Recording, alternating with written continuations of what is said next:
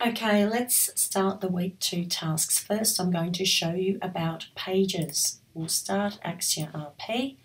Remember, open the file you made last week so you can keep working on that iteratively. I won't be doing that all of the time um, because sometimes I want you to concentrate just on the uh, widgets that I'm using of that week, but this week I am working on the week one. I'll go File, Save As, and we'll call that sample week two. You, of course, don't need to call it sample.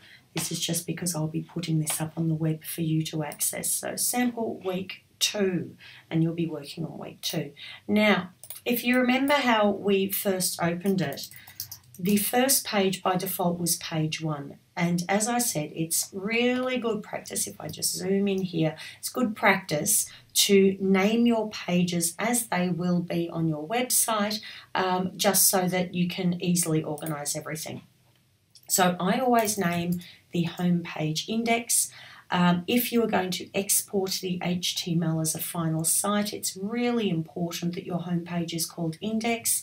If it's just going to go on Axure Share or go to a developer, not so important. You can just call it home, but I'm calling it index here, and I would like you to do the same.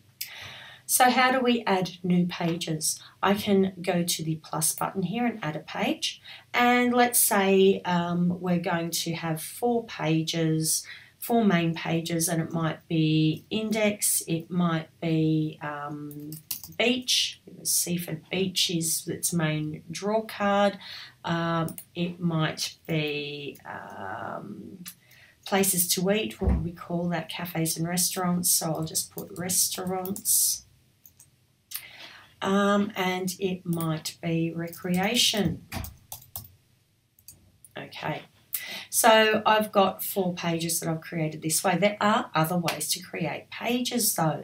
So um, here we might, if you right click, I can go add and we can create a page after or page before. I can also create a child page. I'll show you what that is right now. Page after a page before is exactly what we were doing beforehand. It just changes the order in which they appear. Uh, just say I don't want that, right click, delete.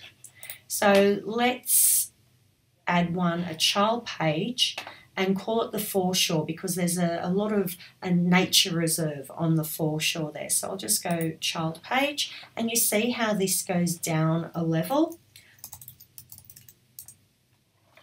And that means that this belongs to the beach page. I might have another one that will have add child page and we might call it wildlife. Okay, great. And for a visualization of this, if I create a, um, a menu, these will probably be a drop down menu from the beach. It will be a child menu of beach these are the main pages and I can hide those and just keep my main pages with this little arrow here. So this is how you add and move the add the pages. Uh, to move the pages, all I need to do is click and drag. So you can see with that circle where it's going to add it. You can see that that has added it as a child page. I need to drag it to the left if I want it to be on the same level. If it's dragged to the right, um, it becomes a child page. Okay, I'm just putting that back where it belongs. So you can rearrange your pages as needed. Okay, so that shows you how to control the pages. In the next video, I'll show you how you can link between the pages.